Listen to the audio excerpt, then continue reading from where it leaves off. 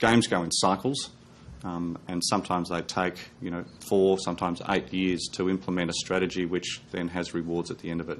We know that. Every country knows that, um, and we'll do what we can um, and implement the right strategies to ensure that we are in a position where we feel we are rightfully belong, and that's you know up in the top five uh, of the medal table.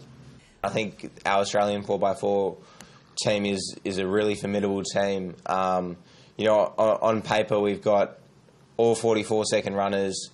On paper, we're, we're probably up there with, with the best teams in the world, and we're all coming into really good form.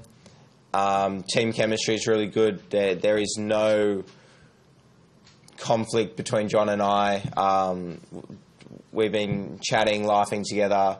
Um, so we're, we're just really happy and wanting to come together as a team and, and hopefully do the best we can for ourselves and for Australia. We saw the impact that the success is having on the local community, and um, there were a number of people on the train at 1.30, 2 o'clock in the morning, and they were just so happy, and they were talking about um, and quite vividly of the experiences they've had at the Olympic Games. And they saw us in Australian uniform, and they were very courteous to us but you could see they had this gloat on their face. And that's, that's the part of the benefits of hosting the games. Um, and we'll take it on the chin, whatever, you know, what they give us.